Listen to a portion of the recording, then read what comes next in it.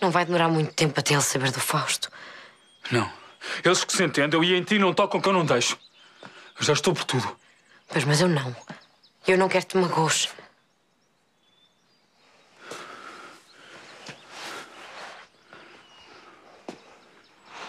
Eu já disse que dou a minha vida por ti. Não fales assim, por favor.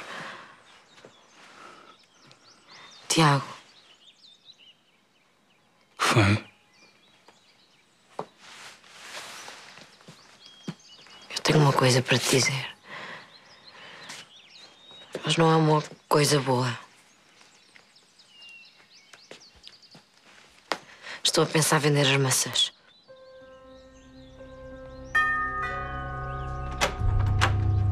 Eu quero falar com o Ricardo. Calma, por favor, Tiago.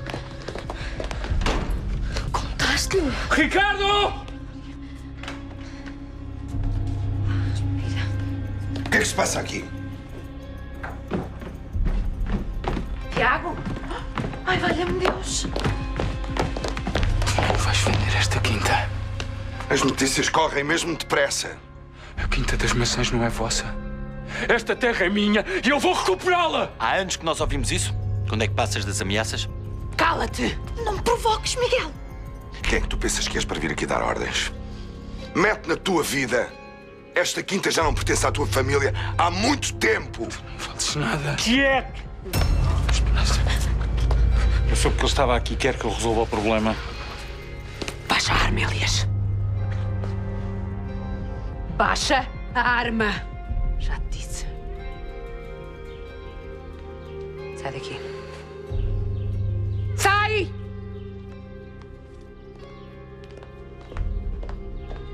Tiago, Eu não quero ouvir mais nada do que tu tens para dizer.